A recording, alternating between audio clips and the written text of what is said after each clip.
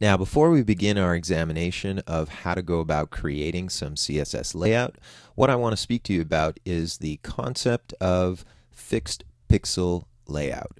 Now, the first thing we're going to have to understand is that we are going to be creating an existing website that looks similar to the one that you're seeing in front of you.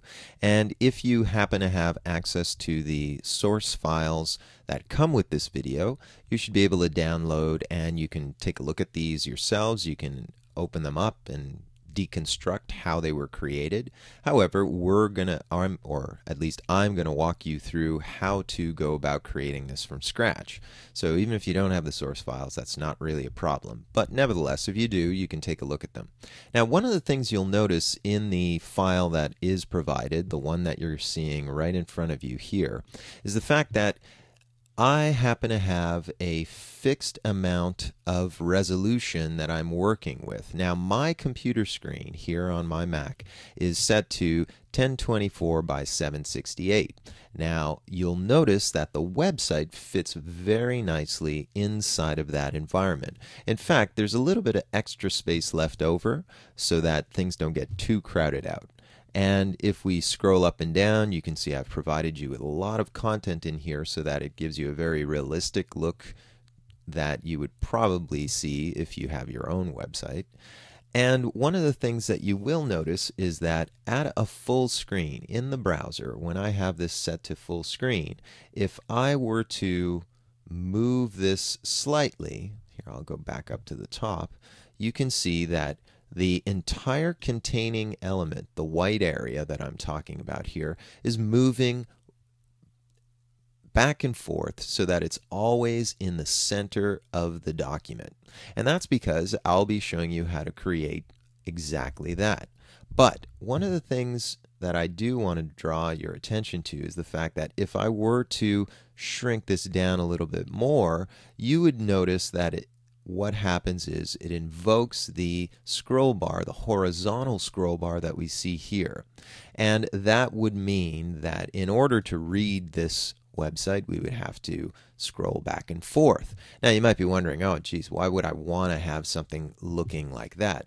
Well, the reason we work with fixed pixel layout is because the general populace works with a screen resolution that our dimensions will fit nicely inside of.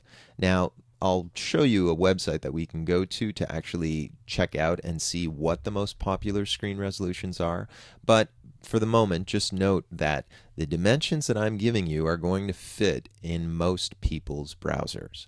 Now, so why do we work with a fixed pixel layout? Well, the opposite of a fixed pixel layout, which I will also be showing you a little later on in this video, would be a liquid layout or something that's a little bit more malleable. What does that mean?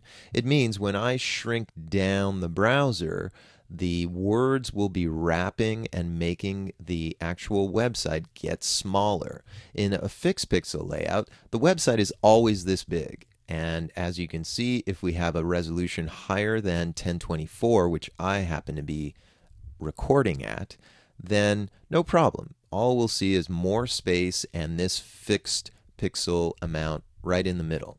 However, if we did shrink this, we saw that there's a scroll bar. In a liquid-based layout, or something that's a little bit more malleable, as I mentioned, we would have the words wrapping. Now, the only difficulties with a liquid based layout is that if I have an extremely large resolution, the liquid based layout will stretch out to fit that resolution. And that ends up with perhaps more words on one line than we would actually like. You know, when you have like you know, 40 words on one line, that's not really conducive to good legibility.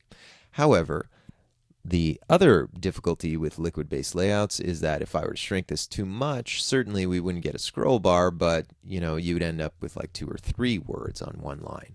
But there are ways of controlling that with minimum and maximum width amounts, and that's a good way to go.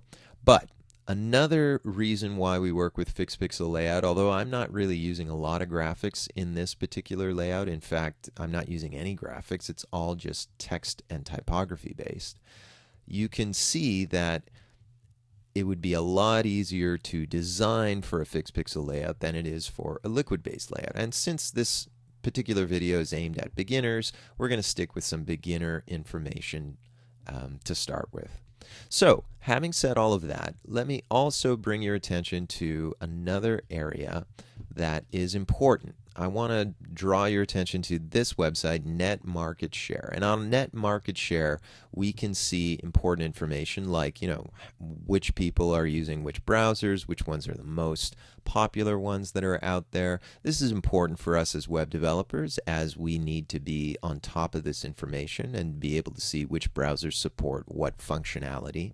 However, for our purposes, all I'm really interested in is the as you can see here, I've already got screen resolutions. So if you go to screen resolutions and it's right over here in the other section, you'll notice that the complete market share as of the time of this particular recording, May 2011, you'll notice that 20% of your audience is going to be using 1024 by 768 but the vast majority of your audience is also going to be using something that's larger than 1024.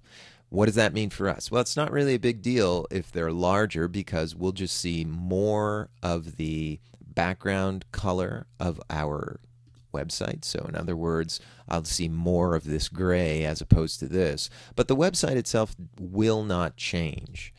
However, do be aware that if we wanted to go smaller than 1024 in terms of our uh, fixed pixel amounts, we're really running into area where there's a very small portion of our audience. Less than 1% is actually still using um, 640 by 480. So we're not really concerned about that, and we haven't been for years with regards to fixed pixel layout.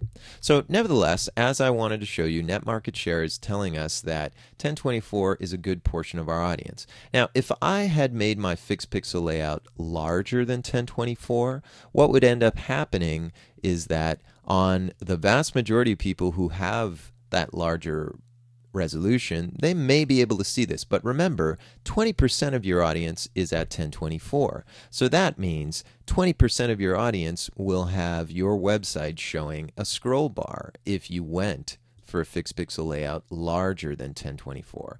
Now, we don't want to alienate any amount of our audience, and certainly we wouldn't want to alienate a large portion like 20% imagine you were doing business and uh, for example there was a million dollars in sales on your website. That would be great. But if that was the case every month let's say if you alienated 20% of your audience turn them off by having have them scroll left and right on the horizontal scroll bar well that's 20% of potential business going down the drain. And i don't know anybody who can you know, uh, quickly afford to lose 20% of their business. So that's why we're working with a 1024 layout.